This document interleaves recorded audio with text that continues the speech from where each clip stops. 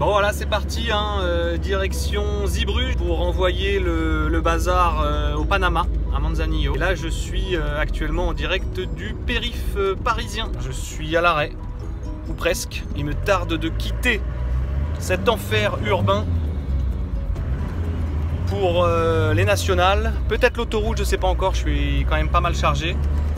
Donc euh, je sais pas encore comment je vais procéder, mais surtout quel va être le comportement euh, pour 4 heures de route, là 4h30 pratiquement, euh, jusqu'à Zeebrugge. Donc je pense que je vais alterner hein, entre euh, une partie d'autoroute et puis peut-être un peu de national. Voilà. Je vous laisse parce que quand même, on sait jamais. hein, je, peux croiser la police même à bord du bazar. Euh, je suis pas sûr qu'il soit très euh, friendly. Allez des bisous, à tout à l'heure. Ciao ciao. Yes, salut à tous, 8h05 du matin, je suis sur le port de Zeebrugge finalement. La nuit a été un peu un sketch, c'était ma première nuit hein, dans, le bazar. Et, euh, et gros vent, grosse tempête, euh, gros bruit, euh, gros mouvement, ce serait cru euh, voilà, à bord d'un bateau qui tangue. Et puis pas de chauffage forcément puisque je voyage du coup sans la, sans la bonbonne de gaz étant donné que j'avais pas envie de faire la, certification là comme quoi la bonbonne était vide etc c'était en Antwerpen Euh, j'ai pas trouvé d'organisme euh, susceptible de réaliser la prestation en France. Donc voilà du coup euh, je me suis caillé les miches. Heureusement j'avais pensé à prendre un duvet supplémentaire parce que la nuit a été vraiment fraîche en ce 3 février. Donc voilà je regrette pas d'avoir pris un duvet. Et puis là bah écoutez je vais me diriger vers nos amis de chez Walleinus hein, la, filiale de, Seabridge qui, est censée faire embarquer mon camion dans le gros bateau, dans le Roro. Voilà, donc je vais partir en éclaireur. Allez, je vous dis à tout à l'heure.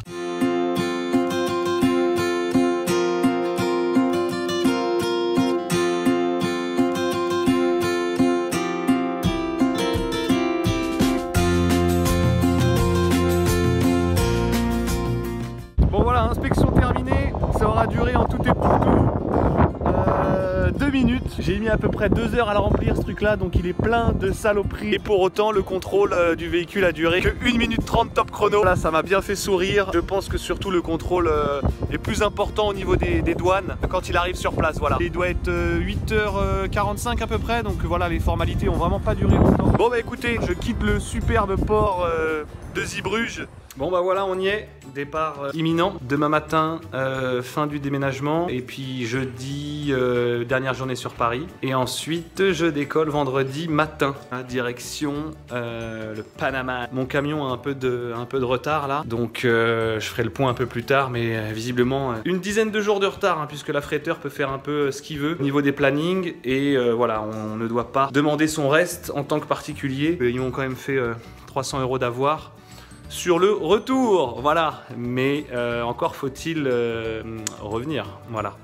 Je vous fais des bisous et je vous dis à très bientôt. Salut. Bon, salut à tous. Euh, nous sommes le 22 février en cette veille de faux départ.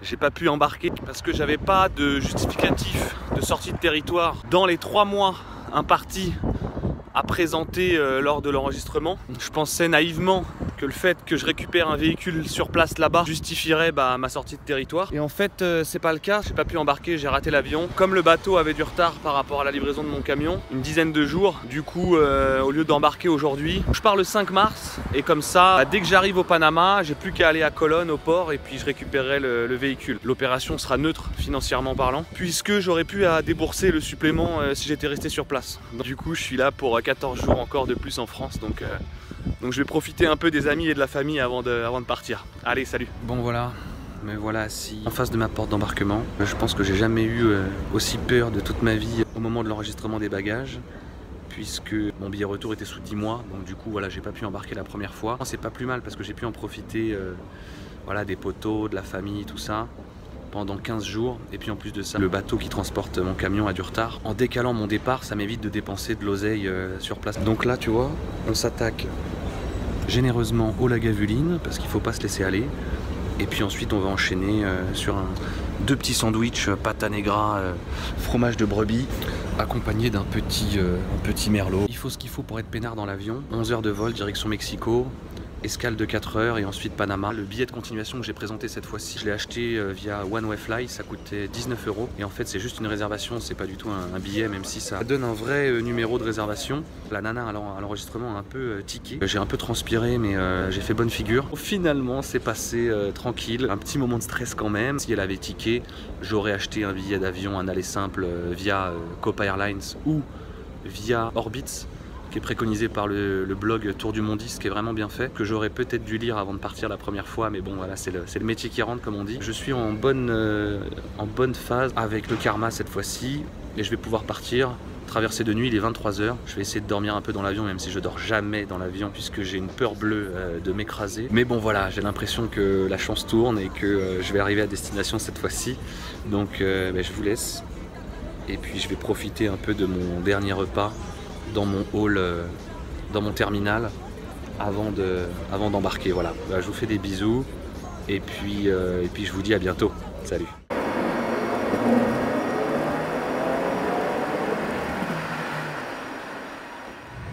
Bon voilà c'est reparti pour un tour, 8h30 après 4 heures d'escale, j'ai pu dormir un petit peu, aller fumer une clope dans un salon payant, 6 dollars, mais à ce prix là ils te font le double expresso et la canette de, de Canada Dry offerte. Voilà, ça fait plaisir quand même quand on sait le prix du, Canada Dry en aéroport. Voilà, je viens d'embarquer dans mon deuxième coucou, toujours sur Aéromexico, un coucou des années 42, euh, euh, reconditionné, voilà, un, coucou back market, si on peut dire, en forme 2-2. Euh, voilà, j'ai quand même pris l'issue de secours, si on peut appeler ça une issue de secours. Donc voilà, 4 heures de vol, je crois là-dedans, ça risque de swinger.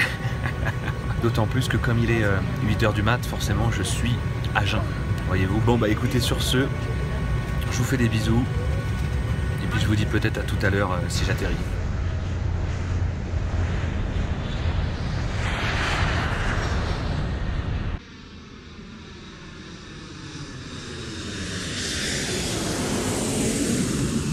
« 14h15, choc de température euh, exceptionnel, 34 degrés à la sortie de l'avion c'est mucho, euh, mucho calor euh, dans le slip. Voilà. Voilà. En China, Corea, Italia, Iran Non. Non No way. Thank you. Gracias. Ouais, du coup, j'ai pas. j'ai mal filmé, mais ils font des contrôles de, prise de température et tout là, t'as. T'as des espèces d'ingénieurs en combinaison euh, scientifique qui, qui, prennent ta température dès que tu sors de l'avion, ça fait un peu flipper. On se croirait vraiment dans un film, dans un film coréen. Mais bon voilà, ça s'est bien passé. Elle m'a demandé si j'étais allé en Chine ou en Iran ou en Italie. Je lui ai dit surtout pas, hors de question. Et puis voilà quoi, je suis passé euh, tranquille quoi. Donc euh, ça veut dire que j'ai pas de fièvre. Ça veut dire que pour l'instant, euh, je suis pas contaminé. Voilà.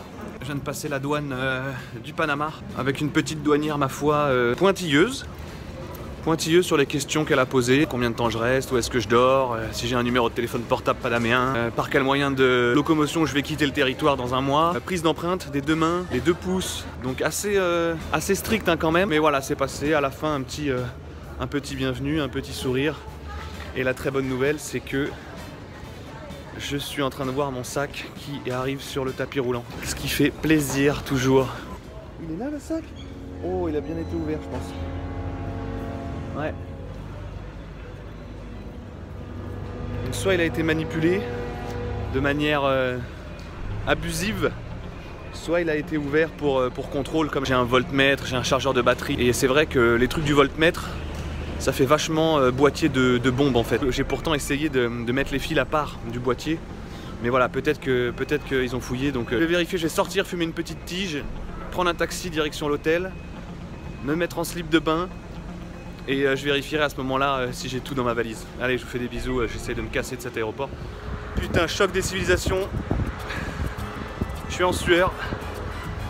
J'ai passé la douane tranquille. J'ai mis tous mes effets dans le machine à rayon X. Aucune question, circuler, dégager. Et j'ai dû marcher déjà à peu près 400 mètres pour aller fumer une cigarette sans prendre d'amende. Prochaine étape, taxi pour aller rejoindre l'hôtel. On m'a dit 30 dollars à peu près, c'est une nana de chez Avis qui m'a dit ça, donc euh, je pense qu'elle est assez honnête. Et puis voilà, j'ai esquivé tous les chauffeurs de taxi en sortant de l'aéroport là qui voulaient me sauter dessus forcément.